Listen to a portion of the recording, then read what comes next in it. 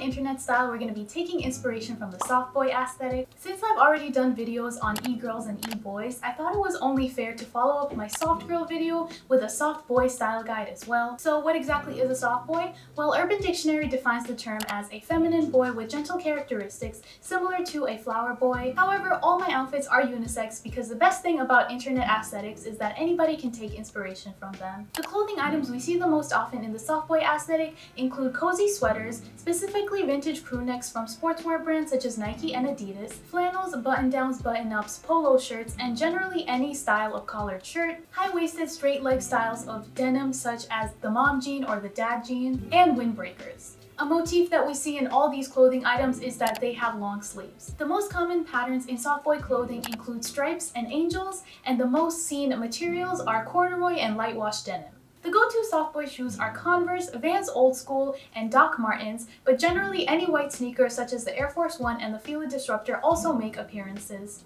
As for accessories, soft boys gravitate towards decorative glasses, specifically those that are clear and round in shape, dad caps, socks with different funky prints, and bags such as the Kanken backpack or an artsy tote bag.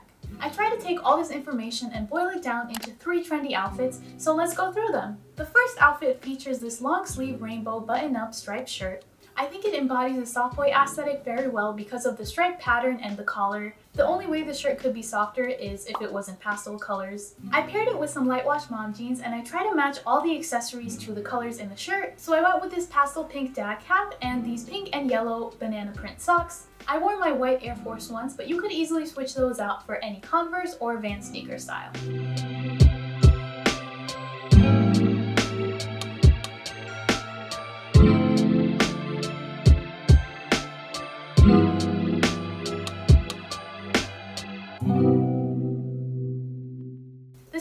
Outfit is based around this color block corduroy jacket. Underneath it, I wore this lavender button-down shirt because it matches the colors in the jacket. As we know, corduroy is one of the soft boys' most favorite materials, so I also went with these brown corduroy high-waisted pants. But these could be switched out with some brown or black slacks as long as they're high-waisted and or cuffed. To tie in the colors of the outfit even more, I picked these tiny lavender glasses and some black Doc Martens with platforms for stomping on gender roles.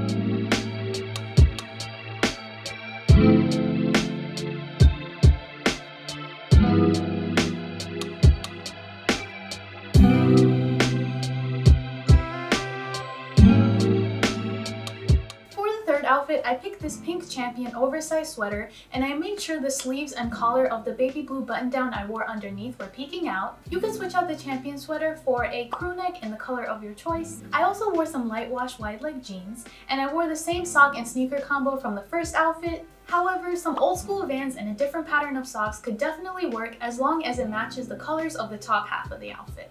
For accessories, I went with this white beanie to stay cozy and this plain white tote bag because I feel like this very simple addition makes the outfit so much more aesthetically pleasing.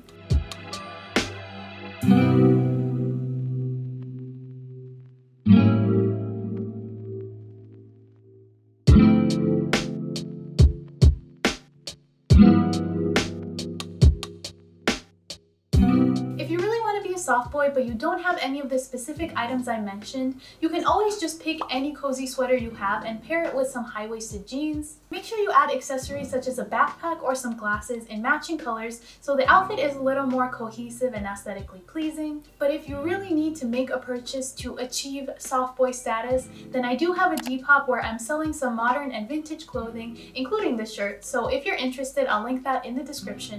If you want to see how to dress like a soft girl, I do have a video on that so I'll link that in the cards and in the description, along with the rest of my internet style playlist where I have style guides on the e-girl and e-boy aesthetics as well. Let me know in the comments what aesthetic you think I should do a video on next, but make sure you like this video, click that subscribe button, and that notification bell so you don't miss any of my uploads. But thank you so much for watching, and I'll see you next time.